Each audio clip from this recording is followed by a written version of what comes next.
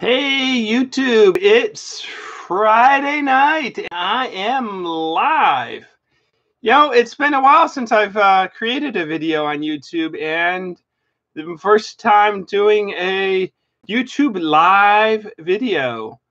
Uh, well, you see, it's uh, middle of the first or the end of the first week of the COVID virus. I've been just finding the time to do it uh, amongst everything else that goes on in the day. Uh, so the last, the past few days, I've been doing uh, face painting after uh, after working and uh, sometime in the evening, either before or after dinner. Today's theme face paint um, was a zebra unicorn. I had told people on Facebook Live uh, that my idea yesterday had been to do a zebra, but that got changed to a dinosaur at the last minute.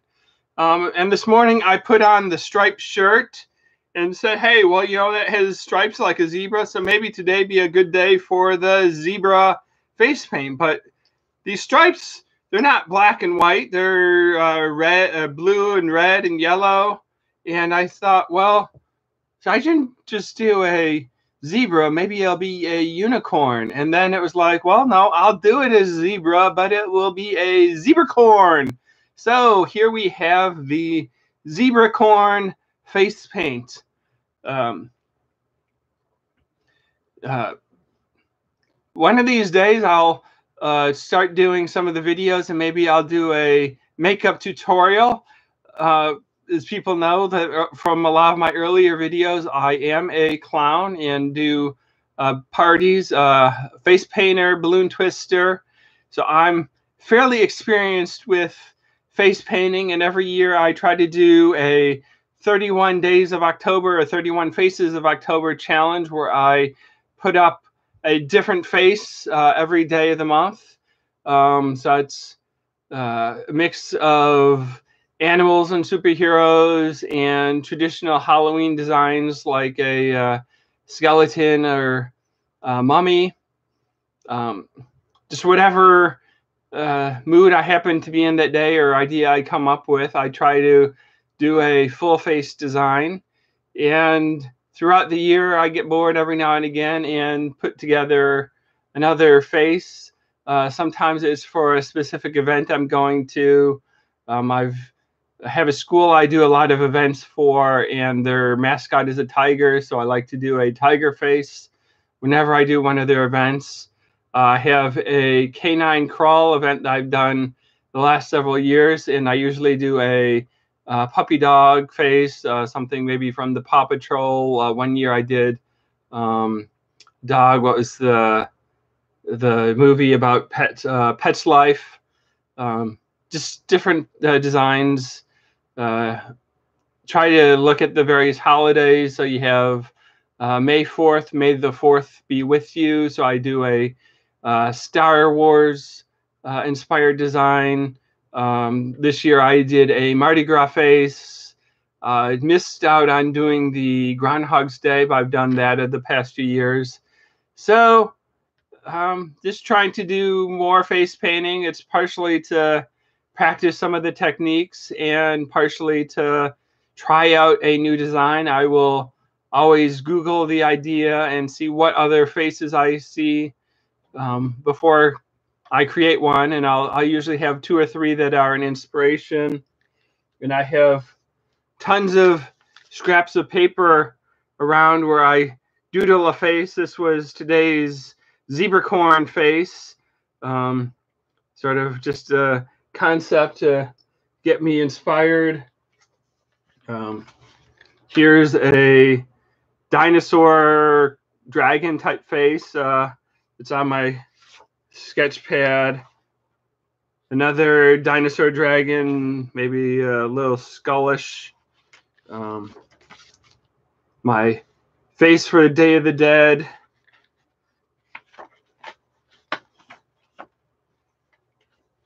Uh, sort of looks like Eeyore from uh, Winnie the Pooh. This was a chicken design. So I um a lot of my faces begin as just a pencil or pen sketch on a piece of paper. Um, for whatever reason, I've always done my personal face painting using theatrical grease paint. Um, I have all of the traditional water-based face paints uh, since I'm a professional face painter doing parties. But I always thought, when I, I started at least, that if I'm doing my face, I wanted something that would last all day, wouldn't smudge and smear. So I do it with uh, theatrical grease paint, and once it's set, it's not going to rub off, and uh, I can go several hours with it if I eat or whatnot. Um, if you eat something greasy, it, will take off the makeup uh, around your lips. You can powder the makeup again to set it if it if you have oily skin or it's been real hot and sweaty. But that's sort of what I like to do when I do my own face. I practice with theatrical grease paint. The hard things about it is um, with traditional face paints, you have a wide selection of colors. With grease paint, you you mainly have the primary colors um, and black and white and brown. There aren't a light blue, sky blue, royal blue, navy blue. There's just blue. Um, with yellow, there's just yellow. There is a gold. Um, there's one orange, one green, one red, one purple. So when I do it, um, if I want a slightly different color, I can add, I can mix two colors together. So I can mix the grease paint, uh, a, a white grease paint and a blue grease paint to make a lighter blue. Um, I can mix a blue and a yellow to get a green color. Um, so that if I'm just, if I don't just want the standard green or the standard blue or the uh, standard orange, I can mix colors to make it a little bit redder, um, a little bit more yellow, and it will blend together. Uh, when I do grease paint, I do it usually in layers. Um, for this face, I did all of the design except for the black. Um, I powdered the makeup and then I went back and did the black. And then I also did a, a little bit of the white highlighting along the edges. Um, that when you have two colors of grease paint and they're both wet or haven't been set, they will blend together. Uh, sometimes that's the effect you want. You're trying to create a gradient of color.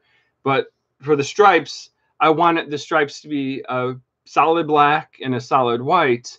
So by setting the the white first and then doing the black stripes over it, um, bl the black won't doesn't blend in as much as it maintains more of the solid color. So it's uh, one technique that if you work with grease paint, you sort of have to learn how to work with multiple colors. I can get a very fine line in black when the makeup below it has been set, or um, if I painted on when the makeup is wet, it winds up being a blurry line.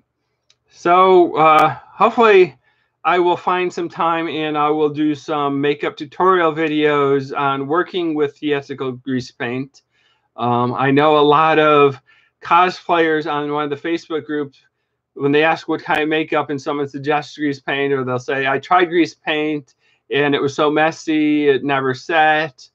Um, there is a learning curve. Grease paint takes time to learn. Um, and I've been doing it for, um, I started uh, as a clown in 2008, so that was 12 years ago. Um, I was into Halloween before um, getting into the clowning, uh, but before I started clowning, I was using the Halloween uh, paints or whatever you get at uh, at Walmart during the Halloween season, or um, it wasn't until after I became a clown that I started buying the professional quality uh, paints and makeups and really figured out the right way and the wrong way to do stuff. Uh, the wrong way was a lot of rushing and not knowing what I was doing. Was trial by error. Um, I know there's a lot of people on face on YouTube that have makeup videos. Some of them are really expert and know what they're doing, and others have no clue. They're just trying to create a video. It's like, here's what a clown should look like, and they they're not a clown. They've never put on clown makeup. They've never done the face, um, but they're creating a video because well they can. Um, so it's like if I'm to create a video, I want to be knowledgeable in the techniques I'm going to be teaching and uh, the designs I'm going to be creating. Now, this design that I did today, I've done zebras before, I've done unicorns before. Um, so I had I've I have the basic face, but it's like I always try something slightly different, something new. Um, but when I'm if I'm going to teach anything, uh, and people have asked me when I do my 31 faces of October, hey, would you do a tutorial? Would you show us how you do those designs and how you come up with it? Um, that's been my goal for a long time. And maybe with the coronavirus and staying at home for the next eight to 10 weeks, I'm going to finally have some free time to do it. Uh, so I guess that's what I am talking about today is um, a little bit about the, the makeup and some of the ideas I have for future videos. Um, if you have a request, something you want to see, I know earlier this week someone was asking, what are some simple dog faces? Um, maybe I'll get around to doing that. Uh, I like doing superheroes. I like doing monsters. I like doing full face design, something that's uh, multicolor and fancy. So uh, we'll see what I come up with and how much time I have. Uh, the webcam, I, I got that a few weeks ago. It was sitting in the box until this week. Uh, with the uh, coronavirus, we're working from home and we're doing a lot of video conferencing. And uh, I had to set up the, the webcam just so I can uh, get work done and found out well since i have it set up it's ready to go and i can use it. So i've been doing the facebook live and tonight doing a youtube live. So i guess i've rambled on for 13 and a half minutes. Don't know that i really had a theme to begin with but hope everyone's doing well and uh, keep keep doing things. This uh, we might be social distancing, but um, it's important that you find activities that you enjoy and you do them, even if you can't go outside and go shopping and hang out with friends and go to a restaurant. That um, if you have a craft, you have a hobby, you're reading books, you're listening to audiobooks, you're doing something, have some fun. So that's my advice, my rambling. Um, I guess that's it for today. Thanks for watching. Hope you enjoyed it.